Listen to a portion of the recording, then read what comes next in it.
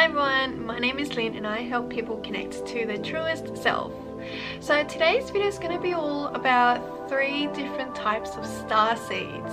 Now I was very reluctant to make this video and even talk about it because I know that people along this awakening journey or people who even identify with star seeds, like this makes sense to you guys. This this topic isn't anything new, it doesn't even sound strange, it's just simply like, yeah, that's what it is.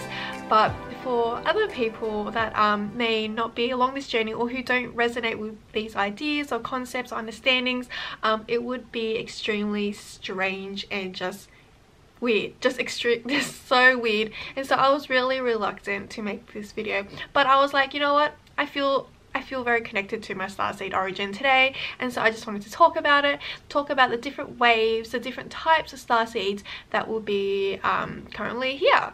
So what are star seeds? I won't go too much into it because there is so much out there so many videos so many things on different websites about what star seeds are. But just a quick overview basically star seeds are um, interdimensional beings or light beings coming from various origin origins throughout the universe uh, with the main purpose and mission of helping um, earth ascend to its next consciousness level basically. And so these star seed origins are, are light beings um, that are coming from uh, higher dimensions and so they're using their knowledge and energy to help the process on, earth. So yes so that's that. I won't go too much about it. And how do you know if you're a star seed? Now if you're having questions like am I a star seed? or maybe I think I am a star seed or a star seed sounds pretty cool you know I guess I am. You're probably not. So um, it's more of a star seed is something that you just it's a deep knowing it's an instant yes there is no questions about it. No one can take that knowing away from you. It's such a strong pull. Now that was the feeling that I got when I first came across the term and the idea of the star, star seeds and so my life basically flipped inside out and things just made sense to me. So yeah, so you will know if you're a star seed, um, there is no question about it. And just before I go on, I'd like to say that um, I don't think star seeds, if you are a star seed or indigo or rainbow children or any of those sorts of labels because they are at the end of the day just labels I don't think there are better or worse than anything else. It's just for me um, having this identification or knowledge just really helped me understand my process here on earth and my purpose and journey as well. So hopefully um, that's what um, that's what it did for you guys as well. So hopefully this video helps flesh out some of the meanings as well. So yeah so let's get right into it.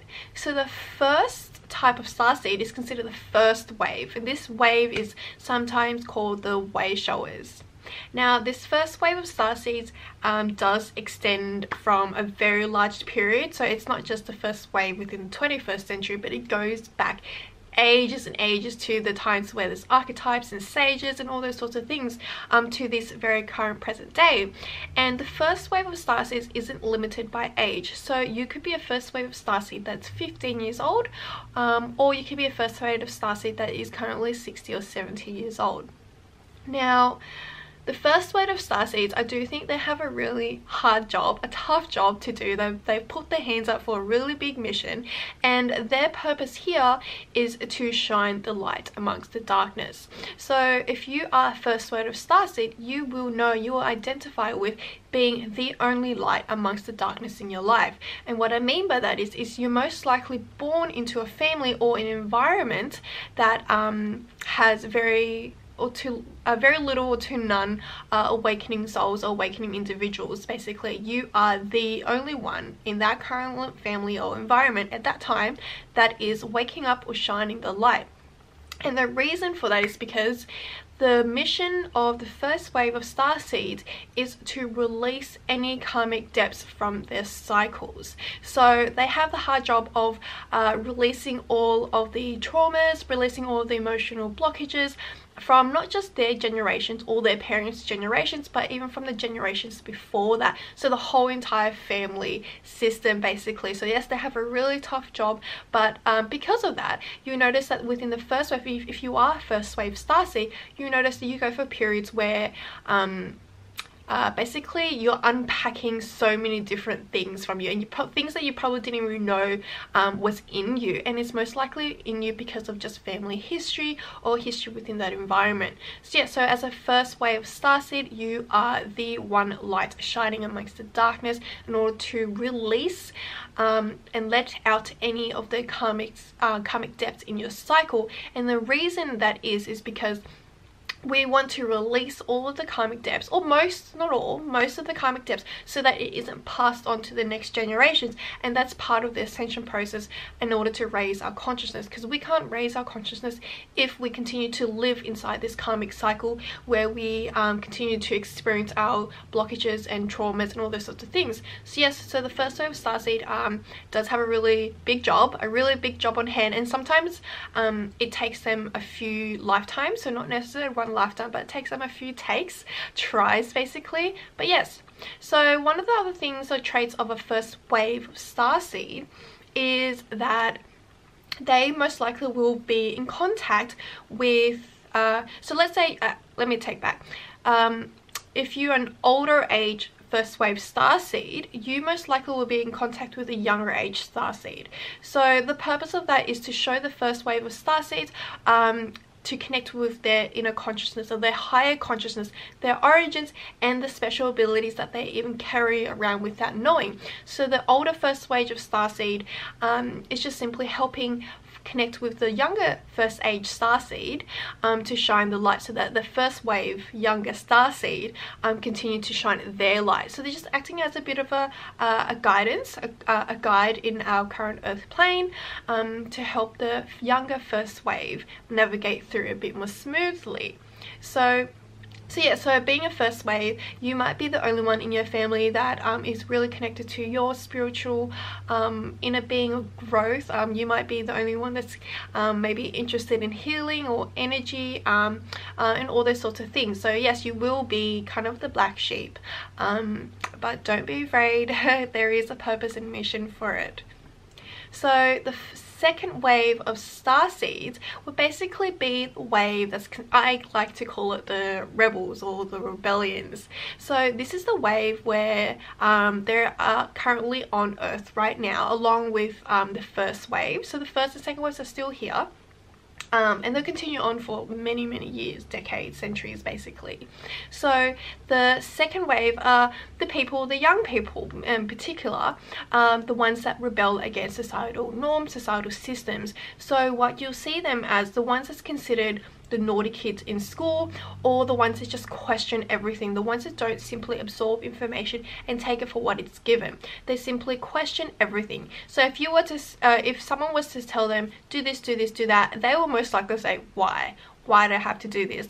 What's the purpose of this? What's the point in this? They will question everything and because of that, teachers and the school systems and society as a whole don't like that. And so the second wave of starseeds are most likely the ones that to find themselves in trouble a lot because they are just pushing the boundaries of societal norms. And so that's one of their purposes is to push the boundaries, to create new lim to create new limits basically, pushing beyond what societies think is okay or considered normal in this current energy state. So yes, so the second wave also don't really see the purpose in ordinary life. And because of that they don't tend to have a normal conventional lifestyle. So the second wave of star seeds may um, kind of adopt a, a like I said, an unconventional life, so they may find themselves living quite a nomadic life, or they may not even enjoy school because they don't, they see school as quite a restraint on their self-expression. Um, so they may even drop out of school quite early on, feeling lost and confused as to why they don't enjoy school or why they don't resonate it as much as all the other kids. Um, yes, they may even push beyond the um, societal norms of like the way they eat. So a lot of the second wave are vegan. Um, um, perhaps even not taking on conventional jobs, uh, so not working working in corporate worlds and all those sorts of things. They perhaps even jumping from job to job, doing random things, things that they uh, feel that they can self-express, uh, have self-expression, and ones that uh, allow them to um, experience freedom. So yes, the second wave is very much all uh, the ones that are rebelling, um, doing things on their own, um, creating their own realities, and um, not fitting in. Basically, I, I do identify uh, not identify. I do recognize when I'm uh, working as a counselor, I've come across uh, a small amount of numbers of second waves of star seeds and they all happen to be diagnosed and I don't like the term um, um, with ADHD because Western system doesn't understand um, what's really going on. Oh, I don't know how to put that. But yeah so yeah so a lot of them may actually identify as having ADHD but it's simply because they just don't uh, conform or they don't see uh, the relationship between sitting down in class and um, and growing. Basically they see growth as something that's ex experiential and they want to expand themselves beyond the normal classrooms. So the third wave of star seeds are basically these are the wave seeds that will be born into most likely an already existing awakening family. So this is the, this third wave of star seeds will be the wave that is going to continue to shine the light that is already existing. So they're there to expand the light even further. So yeah, so they're most likely born into a family that is uh, already having high level consciousness. So um, they're possibly um, living a life that is um, already non-conforming to societal norms. So yeah, so the third wave of star seeds are basically ones that you will recognize and I can feel this when I meet them. They are just pure love and light. There is, they are so pure and a lot of them are quite young at this stage and they're most likely the kids that you see. The kids is just pure love and light in their eyes and just their way of being and they most likely have this strange way of talking and feeling as if they are carrying this unlimited or old age knowledge within them. And so they might you might see them or recognize them and think how on earth are they saying these things? How do they know as a five-year-old or three-year-old? They just seems to be carrying so much knowledge and empowering knowledge. So yes they're there to shine light. They're there to spread love and continue to raise the consciousness of earth today so yes, those are the three different waves of star seeds. So all current three waves are currently here on Earth today and they're still coming through at different times. Um, maybe you guys may identify with some and if you don't that's okay. Um, hopefully I know that it's weird um, particularly if you've never come across the term before but there are so many people that identify and connect with um, this meaning. So yes hopefully that helped explain um, a bit more about what star seeds are and what the different waves mean. So yes that's it for the week. I hope you guys enjoyed that video and I will see you guys next week. Bye